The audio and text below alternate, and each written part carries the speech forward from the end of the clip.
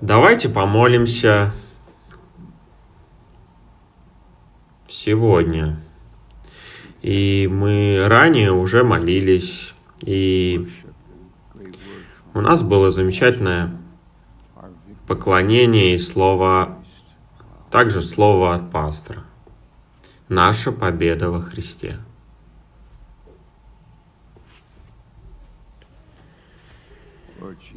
Господь Иисус, мы собраны во имя Твое. Мы понимаем в наших сердцах то, что Ты жив.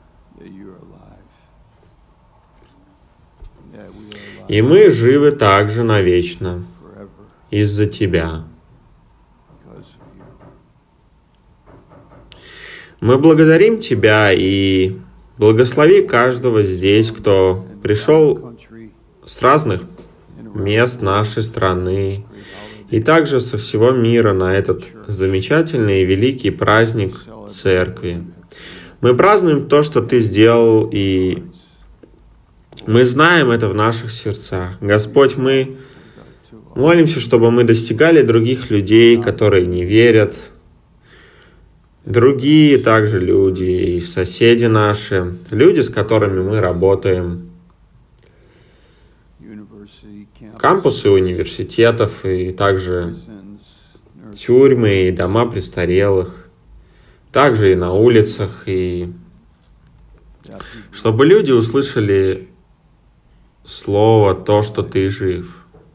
Ты жив. Спасибо, Господь Бог.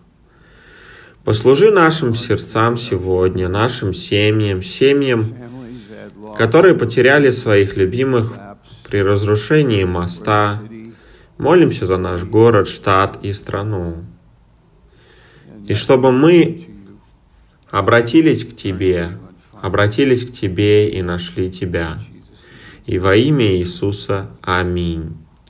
Хорошо, откройте со мной, пожалуйста, Марка 15 главу. И посмотрите на этот стих, о котором мы говорим воскрешение Христа и множество других отрывков. И концерт, который мы смотрели на этой неделе, был необыкновенен во всем. И содержим, содержимое его было из Луки 24 главы. И руководство Ли, и всех актеров и актрис, и также музыки, группы живой музыки, и также посещаемость. Зал был полон каждый вечер, и также вчера днем. И далее обращение и приглашение людей поверить. И как много людей пришли вот сюда, приняли совета нашего и Библию в подарок. И я так благодарен за то, что эта церковь сделала на этой неделе прошедшей, и то, что в наших сердцах. Одна из причин, причин путей нашей жизни, и об этом написано здесь, и в какой-то степени это загадочно для нас. Марка, 15 глава, 33 стих. В шестом же часу настала тьма по всей земле, и продолжалась до часа девятого. И если перевести на наше время, итак, вот полдень. Иисус был на кресте в девять часов приблизительно. Он был под испытанием в шесть утра, и в девять он уже на кресте, и находился там до трех. И в полдень становится очень темно над всей земле до девятого часа. И до девятого часа это три часа дня. И для римлян и языческого мира тьма, которая пришла на землю, являлась знаком, посланием для них. И, возможно, было даже большее значение в этом. То, что грехи мира на Христе, когда Он висит на кресте. В девятом часу, продолжим читать, «Возопил Иисус громким голосом, «Илаи, Илаи, лама савахфани», что значит «Боже мой, Боже мой, для чего ты меня оставил? И это цитата из Псалма 41. И некоторые из нас, из нас задавались бы вопросом, почему Иисус думает, что Бог оставил его? Потому что в каком-то смысле Бог оставил его. Но Иисус не в неверии, потому что в Псалме 21, 4 стихе сказано, и эта мысль продолжается, «На Тебя уповали отцы наши в пустыне». И даже Иисус, который знает историю и то, что иудеи были, находились в пустыне и были в неверии, но среди них были двое, которые верили. И как же их звали? Халев и Иисус Навин. Отцы доверились тебе в пустыне. Итак, Иисус Христос на кресте, и наступает тьма, и Иисус, Он в вере. И почему это важно то, что Иисус верит? Потому что это неве... неверие — суть грех. И Христос никогда не согрешил. Итак, Он умирает в вере, Он погибает проклятым. Проклят всякий, висящий на древе. Галатам 3.10. И также книга Второзакония. Он висит на древе, осужденный за грехи наши.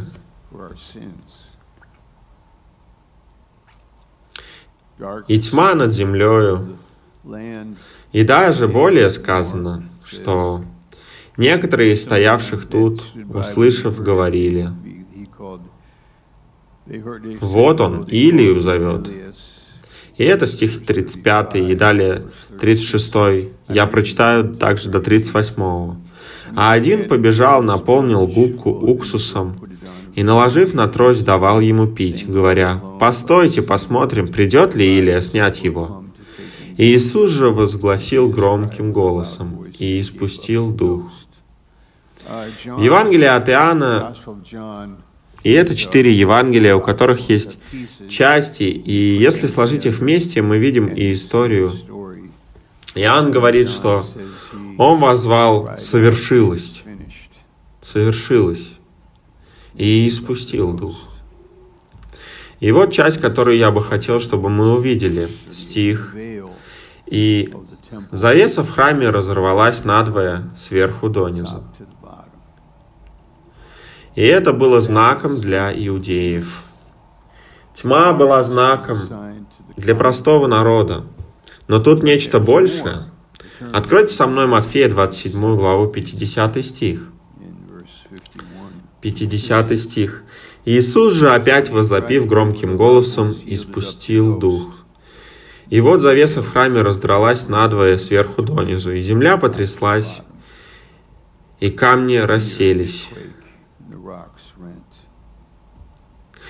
Мы были там, в Израиле, мы были в соборе, который построен над этим камнем, который назван Голгофа.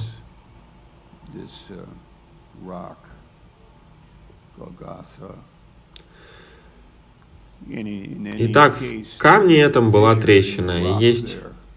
И вы можете спуститься вниз и видеть, где она. И предположительно, землетрясение раскололо камень. И это, это впечатляет. Итак, есть сотрясение, и была тьма, и вот трясется земля. Земля потряслась. Происходит землетрясение. Стих 52. «И гробы отверзлись, и многие тела усопших святых воскресли.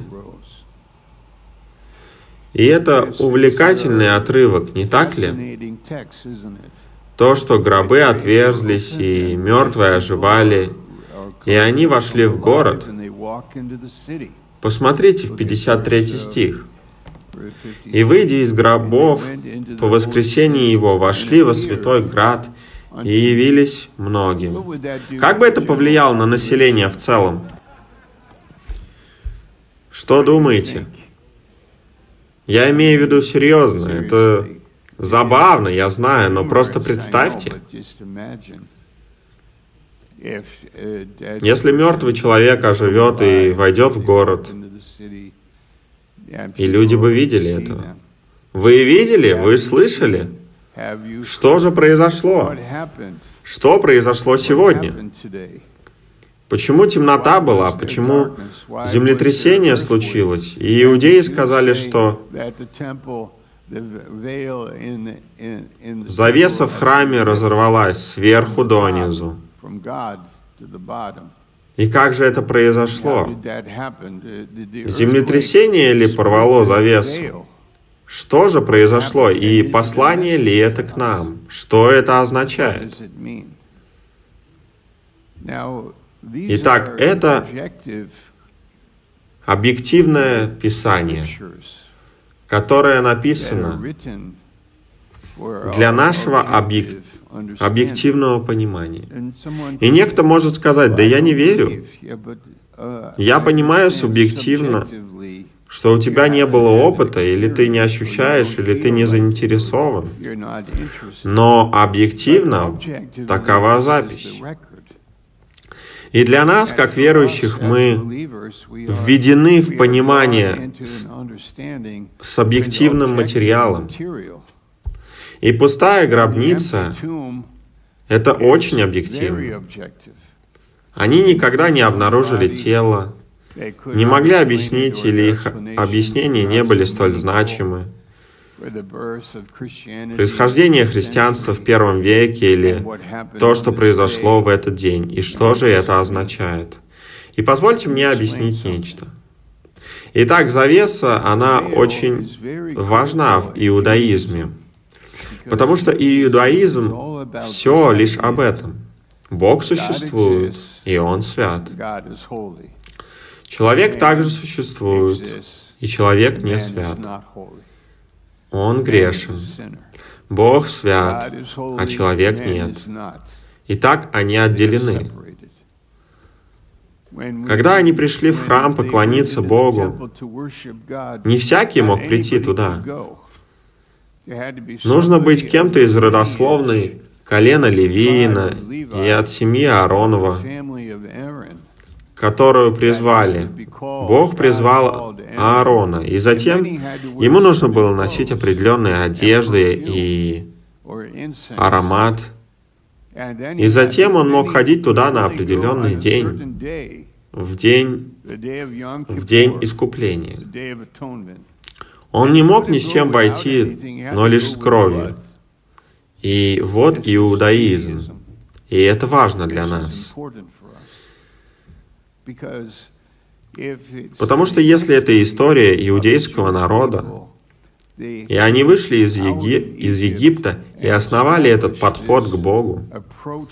И, кстати говоря, в вашей Библии есть определенные книги, и первые три Бытие — это книга начала, Исход — это книга их избавления из Египта. И книга Левит — это суть книга святости начало, рождение как нации, как бы говоря, и выход из Египта, и затем быть народом Божьим. И Господь святой, а они грешный народ, и все мы. И так была завеса. Завеса была очень плотной, шириной руку человека, и мы это понимаем с помощью историка, который нап- написал, что завеса была настолько тяжелой, была 18 метров в длину, 9 метров в ширину, и ширина человеческой руки, покрытая тканным материалом, была настолько тяжелой также, что завесу приходилось поднимать с помощью механизма. Она была столь плотная, она была там. И сначала у нас был храм Соломона, и затем Ирод построил как дар для иудеев другой храм. И также был храм Агея, и храм Зарававель, и затем храм Ирода. Итак, завеса, которая разорвалась, когда Иисус умер, была завесой в храме Ирода. И этот разрыв обладал огромным значением, потому что это произошло одновременно с моментом, когда Иисус умер. В момент, когда Он умер, эта завеса, которая отделяла нас от Бога, была разорвана на части, сверху донизу. И это имеет глубокое значение для нас. И это из Ефесянам 2 главы, если откройте со мной, прочтем, пожалуйста.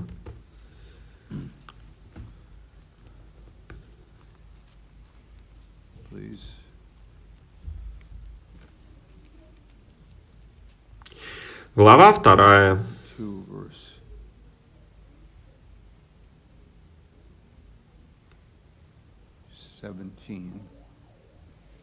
Стих 16. «И в одном теле примирить обоих с Богом посредством креста, убив вражду на нем,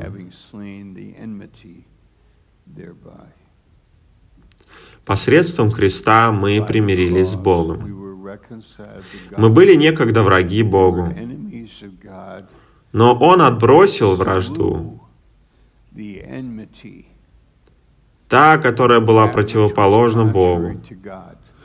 Вражда, которая стоит между нами и Богом, это наша греховная природа. И когда Он был распят, наша греховная природа была распята с Ним. И Он отбросил вражду между нами, открыл для нас он открыл для нас, чтобы мы имели доступ к Богу. Прочтите стих 18. Потому что через Него и те, и другие имеем доступ к Отцу в одном духе. Итак, кто же эти и те, и другие? Это оба иудеи и язычники. Римский сотник, который был там, и в отрывке сказано «истина» — это сы, суть Сын Божий. И сказано в Матвея, что не только сотник, но и другие с ним сказали это. Он голосом сказал, но они все согласились, кто был с ним.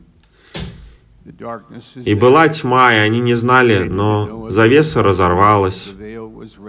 Возможно, они не знали, что это произошло в тот момент. И у них есть доступ к Богу. У язычников есть доступ к Богу через Иисуса. Язычник примирился с Богом, иудей примирился с Богом. Завеса разорвалась.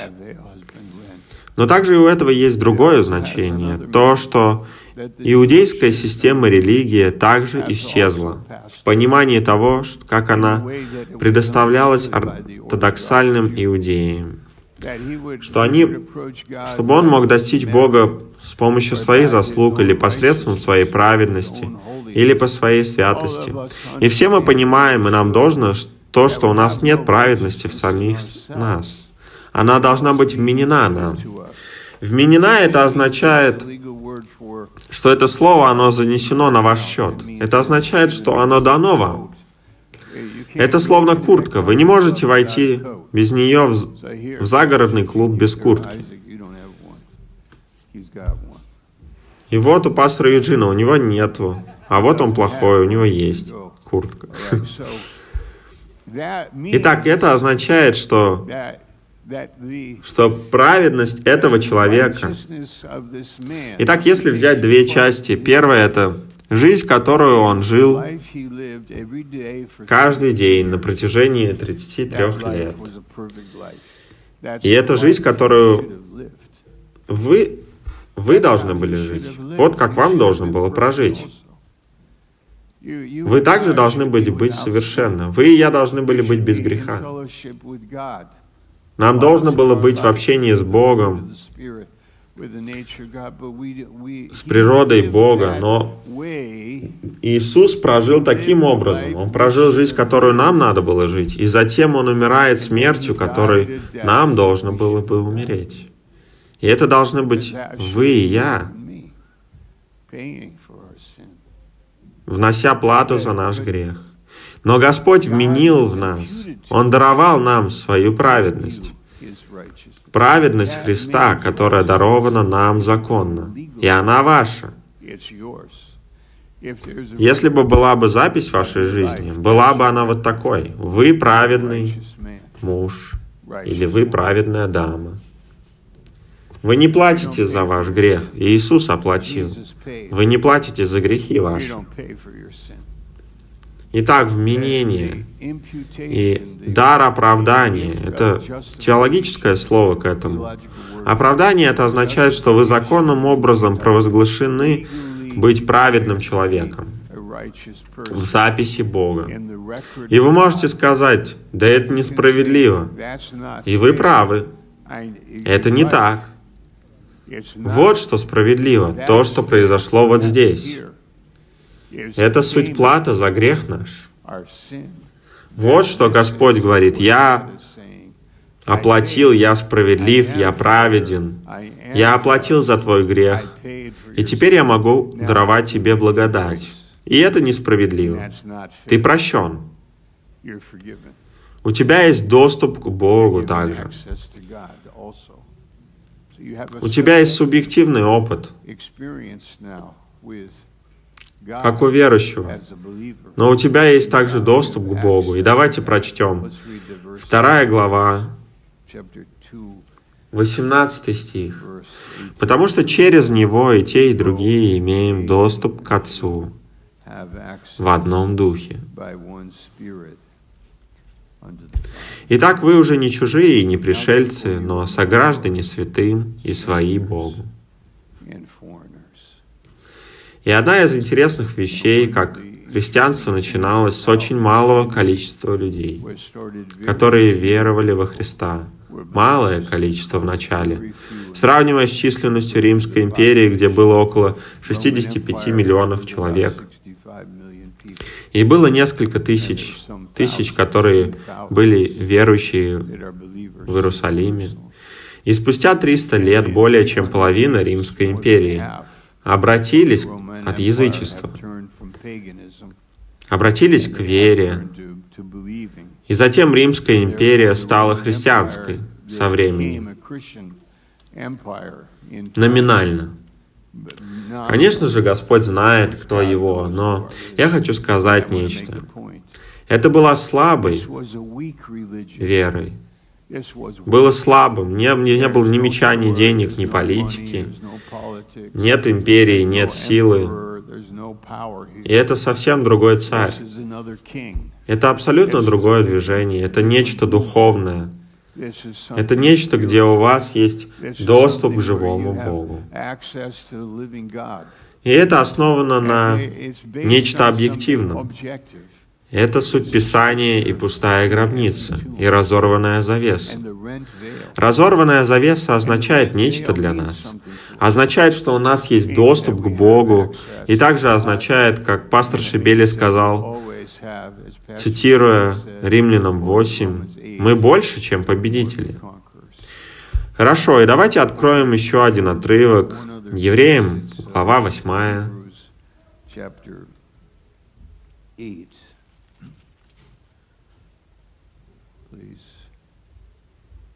Стих первый. Главное же в том, о чем говорим, есть то. Мы имеем такого первосвященника, который воссел одесную престола величия на небесах.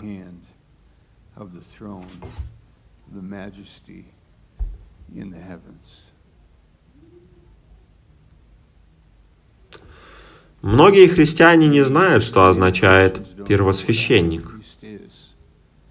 Но у нас есть один, который на небесах, по правую руку Отца. Он есть священнодействователь святилища. На земле и это скини, скини истины, который воздвиг Господь, а не человек. Всякий первосвященник поставляется для приношения даров и жертв. А потому нужно было, чтобы Исей также имел что принести. Если бы он оставался на земле, то не был бы и священником, потому что здесь такие священники, которые по закону приносят дары, которые слушают образу и тени небесного, как сказано было Моисею, когда он приступал к совершению скинии. Смотри, сказано, сделай все по образу, показанному тебе на горе. Но сей первосвященник получил служение тем превосходнейшее, чем лучшего он ходатай завета, который утвержден на лучших обетованиях.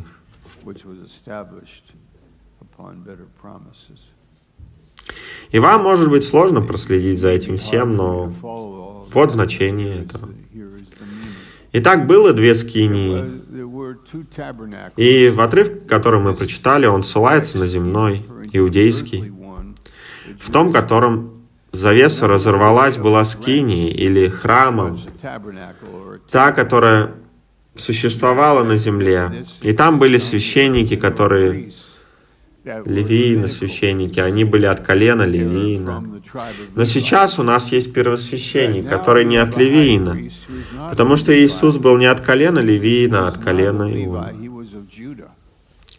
У нас есть первосвященник, который от, Милхи... от Милхиседека, евреям седьмой. Он другой священник, у которого нет ни начала, ни, ни начала дней, ни конца жизни. Он священник, который правит вечно. Он от другого порядка, он другой. Знаете, когда мы встреча...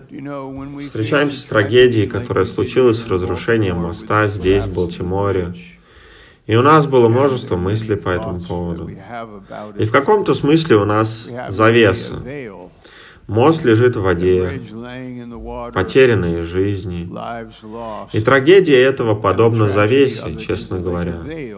Подобно такому барьеру, который наносит нам боль. И мы страдаем. И смерть такова. Она подобна завесе. Она барьер. И также и наш грех. И вообще-то и также и мы, и я сам. Мы как барьер, мы подобно мосты, мосту в воде, разрушенному. Мы в лучшие года наши, и все может быть в порядке, но грядет день, когда смерть стучит в двери, и завеса там. И в каком-то смысле завеса разделяет людей, Завеси, завеса отделяла нас от Бога. Завеса — это проблема в самих нас, и также и обычная вещь в жизни. Я никогда не разговариваю вот с этим человеком, я не говорю вот с ней, я держусь подальше вот от них. И вот та или иная вещь опасна, и жизнь полна вот такого рода вещей. И они не все плохие вещи. Закрывай двери, Господь, захлопни двери и яви мне, но Даруй мне открытую дверь к Тебе. Взаимоотношения, которые больше смерти, больше трагедий, больше, нежели разочарования и больше страха, и больше, чем страхи мои. Ну же, Господи, ну же! Жив ли Иисус или нет? Живет ли Он? И значит ли это что-то для нас? То, что Христос жив. И у меня есть некоторые вещи, которые я бы хотел прочесть. Заявление огромного числа людей, исповедующих Христа, удивительно схоже по всему миру, независимо от места и времени, и окружения или происхождения. Они подтверждают, что Христос удовлетворяет глубочайшие умственные и духовные потребности людей всех возрастов, рас и национальностей. И мне так это нравится. Потому что наше служение по всему миру. И часто мы едем на конференции, встречаем людей и видим в них тот же самый дух, ту же любовь, тот же доступ к Богу, живой Бог, который в нас, то, что мы рождены от Бога. Это субъективно. Вы можете сказать сами себе, я обманываю себя. Я спасен, я ощущаю себя прекрасно по этому поводу. и благодарен, но неужели ли я обманываю себя? Я ли не спасся действительно? Это все нереально, это не истина, и Иисус... Неужели я сам себя обманываю? Пытаюсь ли я поверить и, и убедить себя в том, что это по-настоящему? Так это вот суть субъективность? Конечно же, мы можем думать так. Но что же с этим делать? Я вам дам несколько полезных советов. Мы возвращаемся к объективной реальности. Мы изучаем ее, прислушиваемся к ней, думаем, размышляем о ней. Произошло ли это? Нет, ничего не произошло, не верю. Это ваш выбор, вы можете так поступить. Но так много людей со всего мира и разного рода предысторий, кто говорит, да это реально и дух, и их свидетельство, и реальность этого в их жизнях. И у меня есть несколько примеров здесь. Том Лейбри пишет, что Святой Августин сказал, «Ты создал нас для себя, Боже, и наши сердца неспокойны, пока они не найдут успокоения в Тебе». И я обнаружил эту истину, когда мне было 33 года, и мой самый разочаровывающий факт в жизни — это то, что я прождал настолько долго, до того, пока не обнаружил общение с Иисусом. Насколько бы была моя жизнь более удивительна, если бы я сделал шаг множествами годами, годами ранее.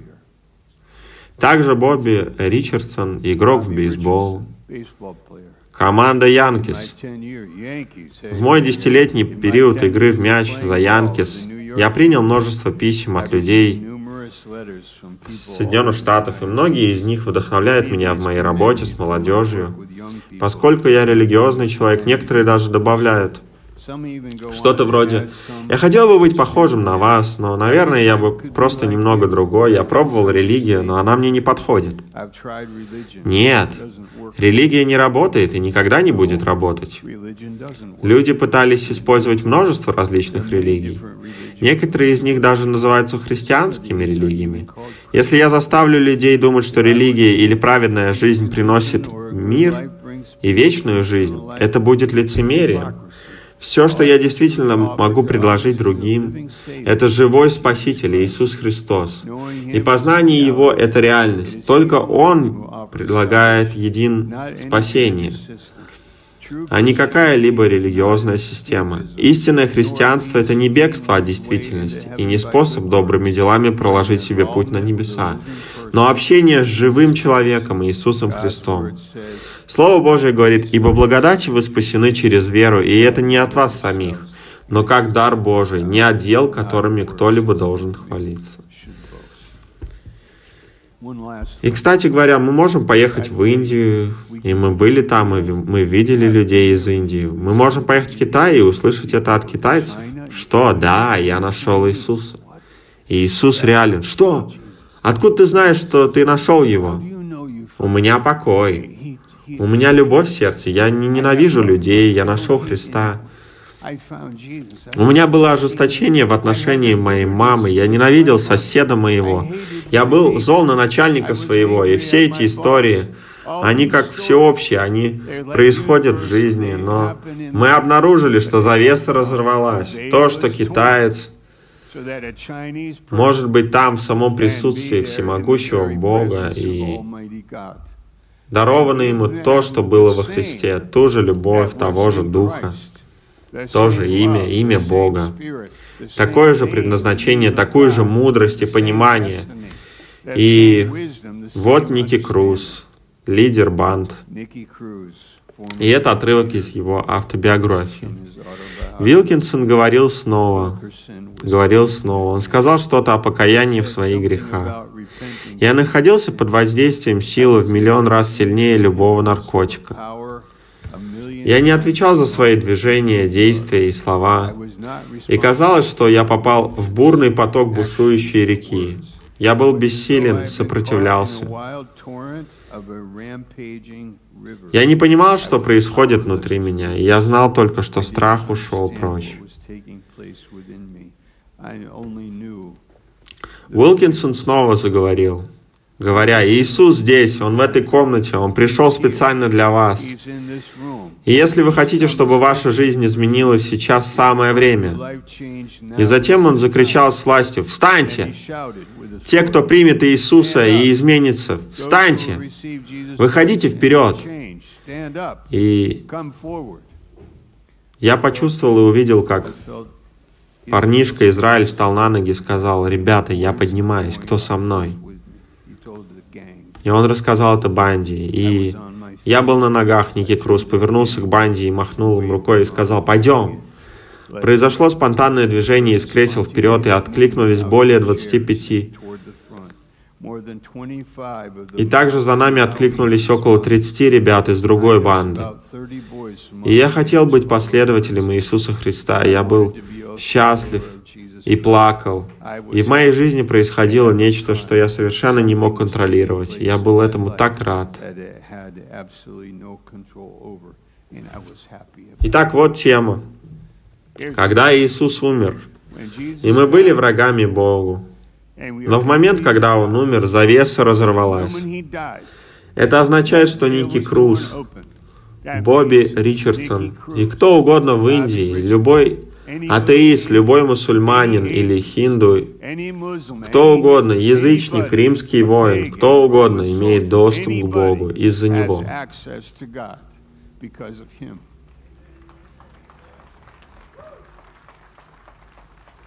И последнее.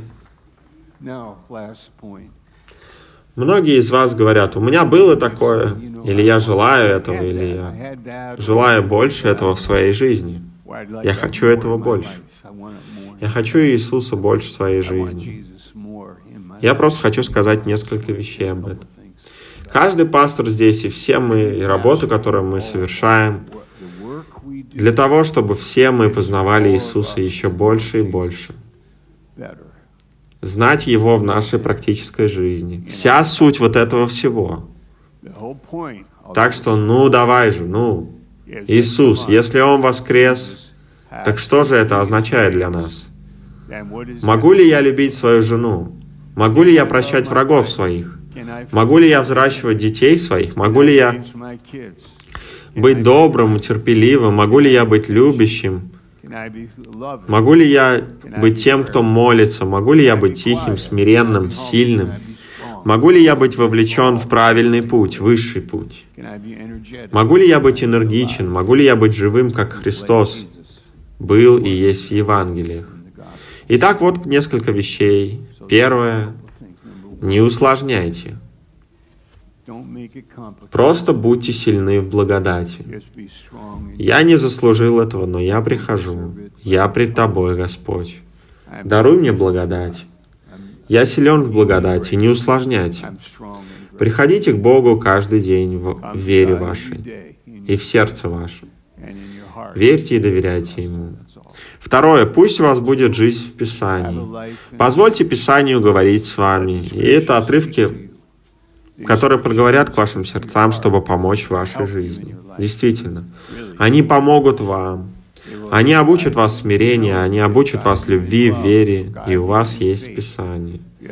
И просто будьте долго терпеливы в этом. Ходите по вере. Господь с вами во всем, во всем, что вы делаете.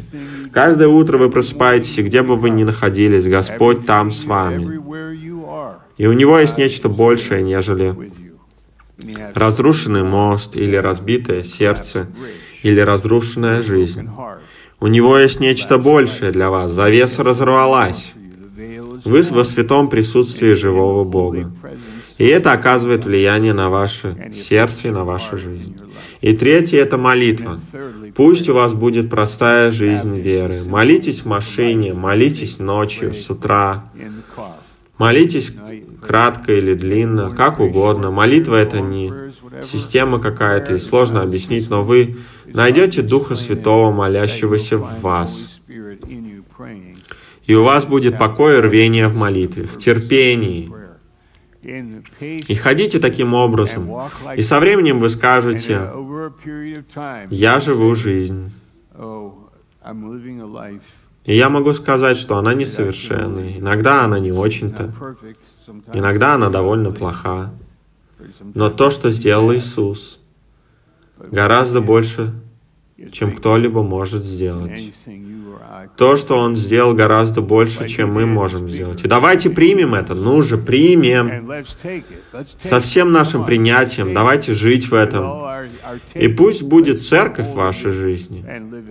И эта церковь для многих из вас. Пусть будет церковь в вашей жизни. Будьте терпеливы, ходите в вере, потому что завеса разорвалась так, что мы с вами живем жизнь в духе и благодати, которую бы мы не жили без того, что сделал Он. Если бы мы жили без этого, ваша жизнь была бы не столь хороша. Поверьте мне, если бы жили без этого, ваша жизнь не была бы такой. Но когда вы готовы, приходите. Примите это как образ жизни, хорошо? Аминь. Помолитесь со мной.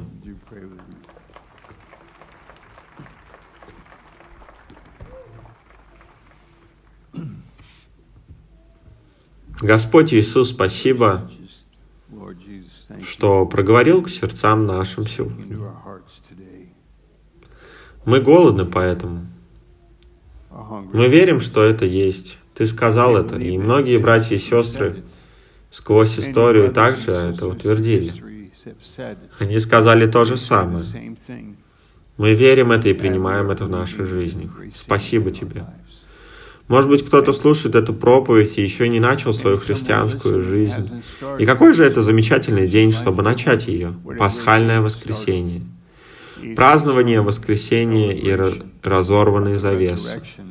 Воскрешение людей, которые ходили по городу. Представьте, давая понять, что это была не просто смерть,